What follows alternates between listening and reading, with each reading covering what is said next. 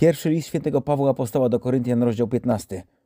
A oznajmiam wam, bracia, Ewangelię, którą wam głosiłem, a którą przyjęliście i w której trwacie, przez którą też dostępujecie zbawienia, jeśli pamiętacie co, co wam głosiłem, chyba że uwierzyliście na próżno. Najpierw bowiem przekazałem wam to, co ja otrzymałem, że Chrystus umarł za nasze grzechy zgodnie z Pismem, że został pogrzebany, że zmartwychwstał trzeciego dnia zgodnie z Pismem i że ukazał się Kefasowi, a potem tym dwunastu. Potem ukazał się więcej niż pięciuset braciom naraz, z których większość żyje aż dotąd, a niektórzy zasnęli. Potem ukazał się Jakubowi, potem wszystkim apostołom, a ostatniemu ze wszystkich ukazał się i mnie, jak poronionemu płodowi.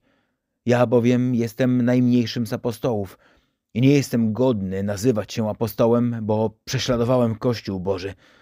Lecz z łaski Boga jestem tym, czym jestem, a Jego łaska względem mnie nie okazała się daremna, ale pracowałem więcej od nich wszystkich, jednak nie ja, lecz łaska Boga, która jest ze mną. Czy więc ja, czy oni tak głosimy i tak uwierzyliście? A jeśli się o Chrystusie głosi, że został wskrzeszony z martwych, jak mogą niektórzy spośród was mówić, że nie ma zmartwychwstania? Jeśli bowiem nie ma zmartwychwstania, to i Chrystus nie został wskrzeszony. A jeśli Chrystus nie został wskrzeszony, to daremne jest nasze głoszenie, daremna też wasza wiara. I okazuje się, że jesteśmy fałszywymi świadkami Boga, bo świadczyliśmy o Bogu, że wskrzesił Chrystusa, którego nie wskrzesił, jeśli umarli nie są wskrzeszani. Jeśli bowiem umarli nie są wskrzeszani, to i Chrystus nie został wskrzeszony. A jeśli Chrystus nie został wskrzeszony, daremna jest wasza wiara i nadal jesteście w swoich grzechach. Tak więc i ci, którzy zasnęli w Chrystusie, poginęli.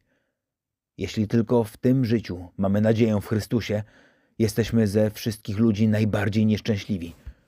Tymczasem jednak Chrystus został wskrzeszony z martwych i stał się pierwszym plonem tych, którzy zasnęli.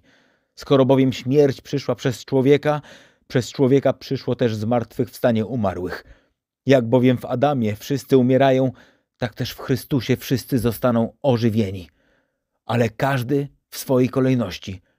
Chrystus jako pierwszy plon, potem ci, którzy należą do Chrystusa w czasie Jego przyjścia, a potem będzie koniec, gdy przekaże królestwo Bogu i Ojcu, gdy zniszczy wszelką zwierzchność oraz wszelką władzę i moc, bo On musi królować, aż położy wszystkich wrogów pod swoje stopy.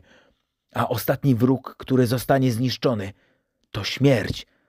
Wszystko bowiem poddał pod Jego stopy. A gdy mówi, że wszystko jest Mu poddane, jest jasne, że oprócz tego, który Mu wszystko poddał.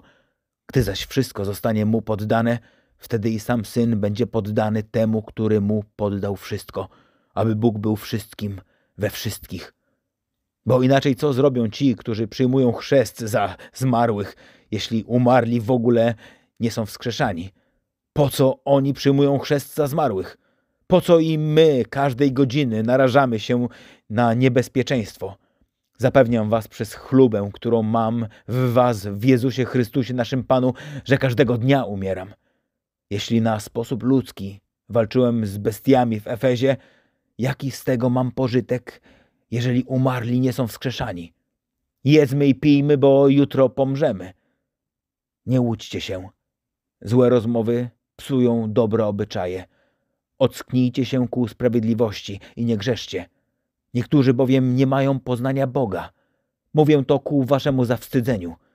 Lecz powie ktoś, jak umarli są wskrzeszani i w jakim ciele przychodzą, głupcze. To, co siejesz, nie ożyje, jeśli nie umrze. I to, co siejesz, to nie ciało, które ma powstać, ale gołe ziarno, na przykład pszeniczne lub jakieś inne. Bóg zaś daje mu ciało, jakie chce, a każdemu z ziaren właściwe jemu ciało. Nie każde ciało jest jednakowe, ale inne jest ciało ludzi, a inne ciało zwierząt, inne ryb, a inne ptaków – są też ciała niebieskie i ciała ziemskie, lecz inna jest chwała ciał niebieskich, a inna ziemskich. Inna chwała słońca, inna chwała księżyca, a inna chwała gwiazd. Gwiazda bowiem od gwiazdy różni się jasnością. tak też jest ze zmartwychwstaniem umarłych. Sieje się ciało w zniszczalności, a jest wskrzeszane w niezniszczalności. Sieje się w niesławie, a jest wskrzeszane w chwale. Sieje się w słabości, a jest wskrzeszane w mocy. Sieje się ciało cielesne, a jest wskrzeszane ciało duchowe. Jest ciało cielesne, jest też ciało duchowe. Tak też jest napisane: Stał się pierwszy człowiek Adam duszą żyjącą, a ostatni Adam duchem ożywiającym. Jednak pierwsze nie jest to, co duchowe, ale to, co cielesne, potem duchowe. Pierwszy człowiek z ziemi, ziemski, drugi człowiek, sam Pan, z nieba. Jaki jest ten ziemski, tacy i ziemscy, a jaki jest niebieski, tacy i niebiescy.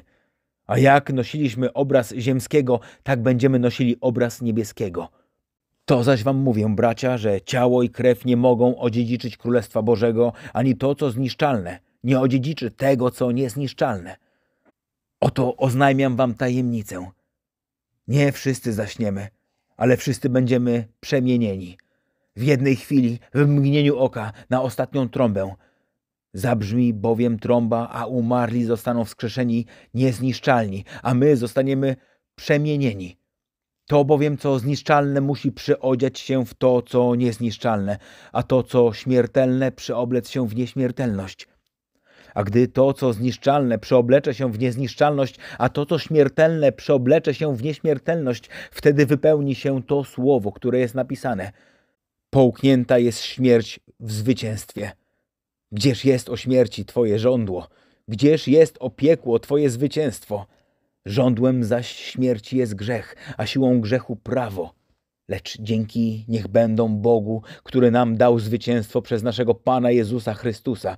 A tak, moi mili bracia, bądźcie stali, niezachwiani, zawsze obfitujący w dziele Pana, widząc, że wasza praca nie jest daremna w Panu.